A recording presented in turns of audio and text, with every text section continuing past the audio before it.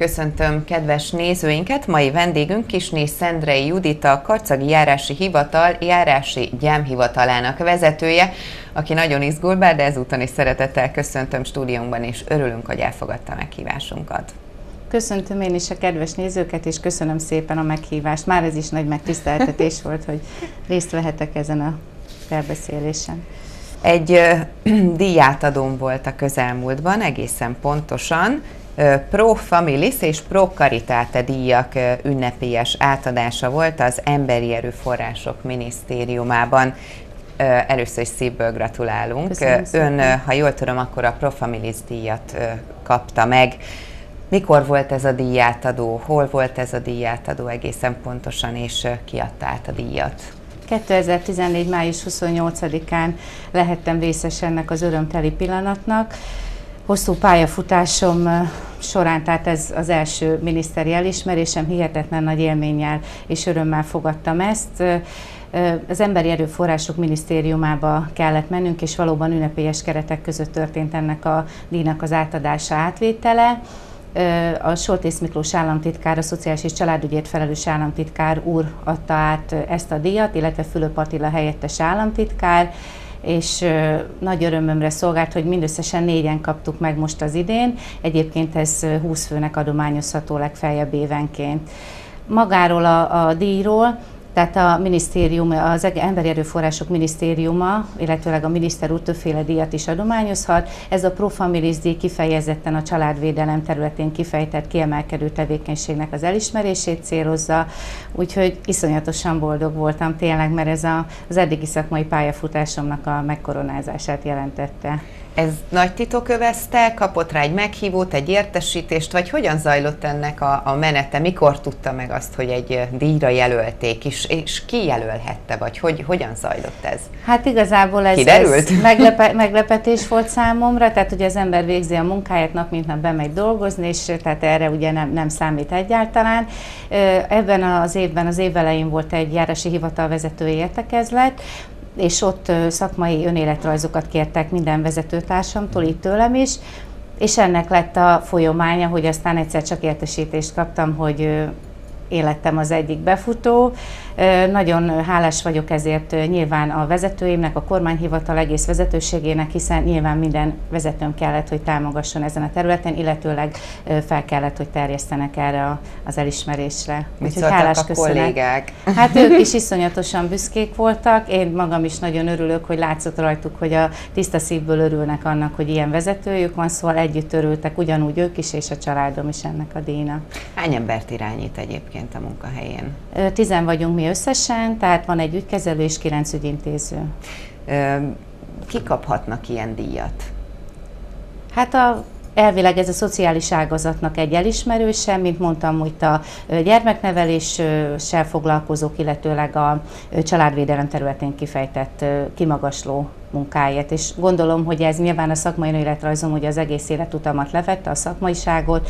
Én 97 óta vezetem a gyámhivatalt, 91. augusztusa óta dolgozok a polgármesteri hivatalban. Ugye most történt 2013. januárjában ez az átszerveződés, a területi átszervezés, hogy az ügyfeleknek még könnyebb legyen az ügyintézés, még közelebb kerüljenek a kormánytisztviselőkhöz, az államhoz ezáltal, és így ugye más néven, de ugyanezt a feladatot végez végeztem tovább.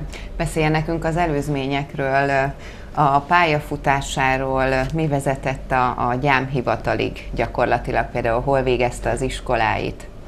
Én az általános iskoláimat itt a Györfi István általános iskolában végeztem, utána kisújszállásra kerültem a Móricz Zsigmond szakközépiskolába, ott gyors és képírónak tanultam, igazgatási ügyviteli szakképzettséget szereztem, mert már akkor is úgy gondoltam, hogy irodai munkában szeretnék ténykedni, és szerencsére ez egy jó választás volt, mert meg is szerettem ezeket a tantárgyakat, amik kifejezetten ezzel az igazgatási résszel foglalkoztak, és így aztán az államigazgatási főiskolára jelentkeztem, és Fazekas Sándor miniszter úr jó voltából bekerülhettem a polgármesteri hivatalba, tehát azóta neki is nagyon köszönöm, nagyon hálás vagyok, mert így elindulhatott ez a folyamat, és megmutathattam, hogy tényleg valóban odavaló ember vagyok, ami ugye később derült ki.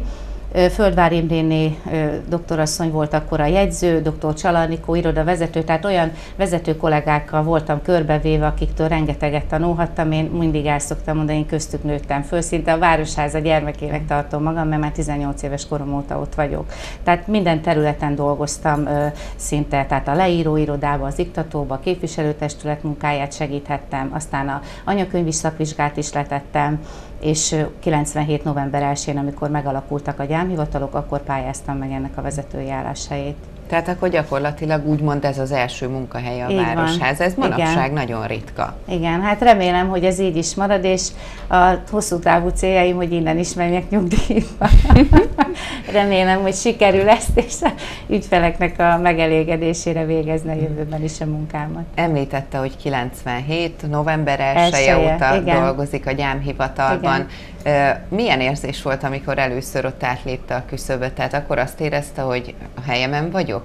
Hát akkor még az ember tele van feszültséggel, izgalommal, tehát ugyanúgy, mint most, hogy amikor az első dolog, új dolog történik az életében, én akkor 24 éves voltam, tehát ez úgy érzem, hogy egy iszonyatos nagy dolog, hogy valaki ilyen idősen már egy ilyen ö, irodavezetői pozíciót akkor betölthet. Nyilván kellett ez ahhoz, hogy az, az a, tehát a 91-től 97-ig terjedő időszakban már egy ö, tehát ö, olyan szakmai munkát végeztem, amely nyilván a vezetői megelégedésére szolgált, és természetesen az ő támogatásuk, támogatásukkal nyerhettem ezt el. Hiszen ha nem találtak volna erre méltónak, akkor, akkor ugye nem kerülhettem volna ide, és azóta az élet igazolta végül is, hogy, hogy megálltam a helyem. Nagy felelősség. Hát igen, igen. Most meg a járások megalakulásával még nagyobb, hiszen még nagyobb terület tartozik hozzánk. Ugye eddig Kummadaras és Beregfürdő, most pedig 2013. januártól Kisújszállás és Kenderes is, tehát még nagyobb a lélekszám, még több az ügyfél, még több a felelősség, hiszen nekem elvárásom, hogy eddig már kialakítottunk egy magas szintű szakmai színvonalat, és az a célom, hogy ezt javítani tudjuk, tehát ugye ezt csorbítani nem igen szeretném, tehát az a célom, hogy ugyanazt a maximalitást tudjam a munkatársaimnak átadni, mint amivel én is rendelkezek. Azt mondta, hogy javítani, mindig javítani. Ezt hogyan érik el? Továbbképzésekre igen. járnak, vagy konzultációkra? Igen. Hogyan tart itt a, vagy hogyan zajlik itt az összetartás a járáson belül? Nagyon, nagyon jó szervezeti egység ez a járás, és hogy a kormányhivatalokba bekerültünk, hiszen rengeteg továbbképzésen vehettünk már részt most az eltelt időszakban is, de nagyon rövid még a múltunk, ennek ellenére tehát mindenki akármilyen továbbképzésen szeretne részt venni, részt vesz, kap rá lehetőséget, illetőleg nekünk most már előírás is, hogy kreditpontokat gyűjtsünk, tehát meg hogy négy évente hány pontot kell gyűjteni, tehát milyen képzésekre kell jelentkeznünk, tehát ez hihetetlenül hasznos, rengeteg a jogszabályváltozás, most márciusban is jelentős jogszabályok módosultak, ami nekünk a minden területünket érint, tehát ezek mellett meg elkerülhetetlen a folyamatosan képzés. És ugye nyilván vezetőként ez a feladatom, hogy mindenki azonnal megismerje a jogszabályokat, értelmezzük közösen a gyakorlatba, átültessük, hogy tényleg törvényesen, pontosan, precízen tudjuk végezni a munkánkat, és ezzel javítani a színvonalat. Ez a gyámhivatal, ez egy ilyen nagy, nagy halmaz akkor ezek szerint. Mi, mi, mely területek do, ö, tartoznak önökhöz? Tehát első körben ugye a gyermekek védelmének a rendszere, a gyermekek jogainak, érdekeinek az érvényesítése, és a veszélyeztetettségük megelőzése, megszüntetése, hogyha valakinek hiányzik a szülői gondoskodást, akkor azt ugye igyekszünk pótolni, sajnos vagy nevelőszülőkkel, vagy intézeti keretek között, illetőleg már nem a, a megyeszintű járási jámhivatalok intézik az örökbefogadásokat, tehát azt nem mi, de ez is a jámhivataloknak a hatásköre, illetőleg azok a felnőttek, akik kikerültek az intézetből, 18. életévüket betöltötték, segítjük a társadalomba való beilleszkedésüket, hiszen ugye kikerülnek már a rendszerből, és hogy mégis elboldoguljanak utána szülői segítség nélkül is az életbe. Továbbá még a nagykorú személyekkel is van tennivalónk, tehát akik az ügyei vitelükre képtelenek, tehát valamilyen olyan betegségben szenvednek, hogy személyi vagy önügyeikben nem tudnak eljárni, a bíróság a cselekvőképességüket ítéletben korlátozza, teljesen vagy részlegesen, és akkor az is a mi feladatunk. Mm. Tehát nagyon széles. Ez egy érdekes dolog, vagy érdekes téma, ugye, hogy akik kikerülnek az intézetekből, őket hogyan tudják támogatni, segíteni? Ugye addig egy rendszerben éltek, keretek között, és utána, amikor kikerülnek úgymond a nagyvilágban, akkor be tudnak ők illeszkedni? Hogyan segítenek önök? Hát igen, ezért van ez a, az utógondozás, mint hatósági intézkedés, tehát akik tanulnak, ők még ellátást is kapnak, tehát pénzösszeggel is segíti az állam, illetőleg lakásvásárlásra is kapnak egy bizonyos összeget, tehát meghatározott feltételek, hogy a törvénybe fel vannak sorolva, ha ennek megfelelnek, akkor ugye lakásvásárlásra állapítunk meg nekik támogatásokat, és természetesen utógondozó otthonokban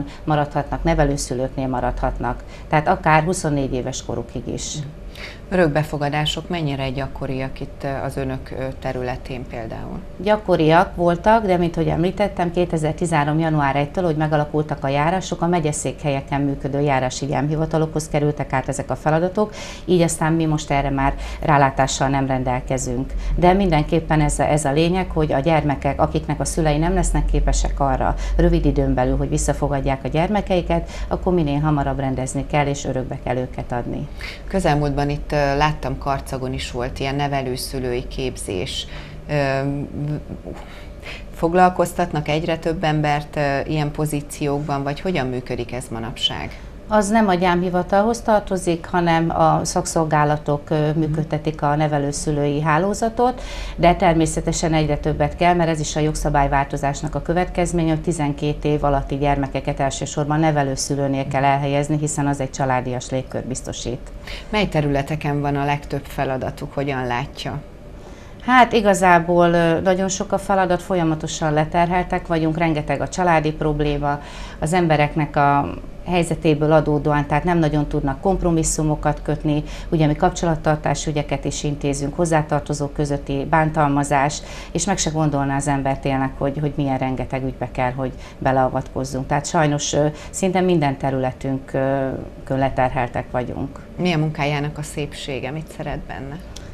Hát engem azért tett, hogy én nagyon sokat ügyfeleztem, most már ugye a vezetői feladataim előtérbe kerültek, és így kevesebbet tudok konkrétan ügyfelekkel foglalkozni, csak ugye a, az iratokat tekintem át, ellenőrzöm és irányítom a munkát, de most is kimegyek sokszor területre, és az ügyfeleknek a visszajelzése. Én nagyon sok levelet őrzök a, már az elmúlt 97-es évtől évekére visszamenőleg, hogy nem is kértük az ügyfelektől, és írták, hogy olyan családias légkörbe fogadjuk itt őket, meg hogy ezt pedig most a járás idején kaptam, hogy ilyen hölgy, mint Kisné a világom, a másik nincs. Tehát olyan elismerő leveleket, és hogy, hogy engem ezek éltetnek. Tehát boldoggá tesz az, hogyha tudok segíteni valakin. Tényleg mi, én, nek, én abban a szellemiségben nevelkedtem itt a Városházán, hogy ugyanazt a bánásmódot nyújtsuk az ügyfél irányába, amit mi, mi is elvárnánk. És tehát én például nem vagyok ez a bürokrata, hogy én tényleg nagyon hivatalosan szorítkozzunk az ügyintézés, hanem mindig egy kis közvetlen vagy kötetlen közvetlen beszélgetés, és akkor oldjuk, hiszen az emberek, akik hozzánk fordulnak, azok tényleg nehéz sorsúak, családi problémákkal küzdenek, és nagyon sok esetben jó ízű beszélgetések tényleg tudtam segíteni, és vannak visszajáró ügyfeleink is, akiknek örökbe adtam például, gyermeket felhívnak, fényképeket küldenek, és e- ez az öröm, és ez éltet engem, hogy az ügyfelek akármerre megyek, tehát szeretettel fogadnak, és, és ezért érdemes élni és csinálni tovább. Mi a munkájának, vagy a, a tehát igazából a nehézsége, vagy azoknak a munkájának a nehézsége, akik ugye ügyfeleznek, tehát például magukra veszik más ember problémáját? Hát ez az, hogy meg kell próbálnunk. Tehát, hogyha az embereket az érzelmeik irányítják, akkor nem fognak tudni tárgyilagosan a tényekre hivatkozva döntéseket hozni, és nyilván csak úgy tudunk segíteni. Nyilván, ha nincs empatikus készség bennünk, akkor nem fogunk tudni segíteni, de meg kell találni ebbe is az arany középutat.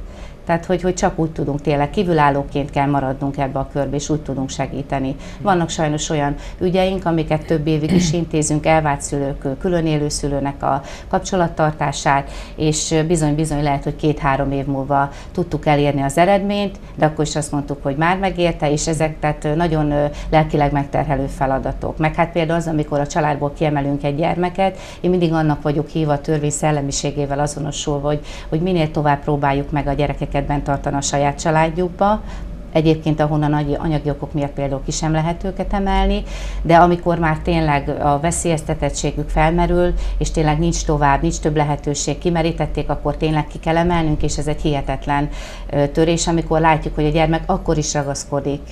És ugye nekünk utána az a feladatunk, hogy a gyermeket, szülőt megnyugtatni, és egy rendszeres kapcsolattartással elősegíteni meg, családgondozás, hogy mi hamarabb visszaadhassuk. Mi a közeljövő, vagy a távlati jövő legfontosabb célkitűzés, amikor lenne elégedett?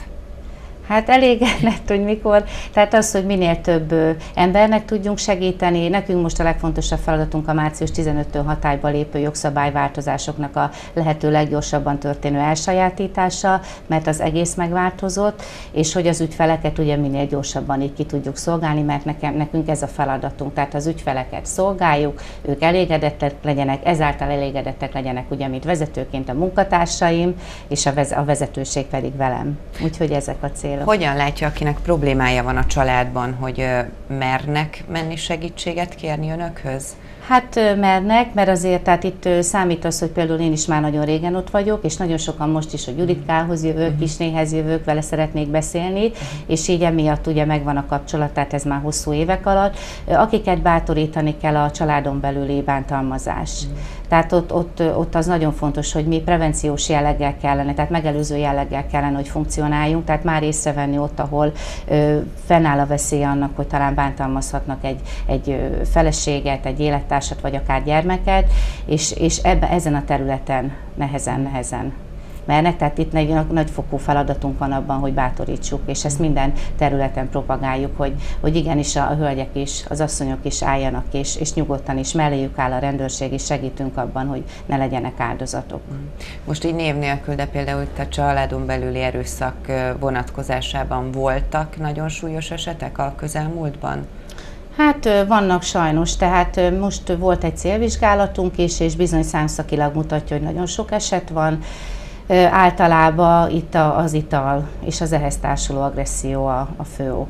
És sajnos sok esetben előfordul, amikor a szülővel együtt élő aglegény fiú ugye italozása következtében bántalmazza a szülőt. Tehát ez meg még szomorúbb, amikor tényleg az a szülő felnevelte a gyermekét, gondozza már felnőtt kora ellenére is, és a hála jelejül ugye a rendszeres bántalmazás jut ki neki.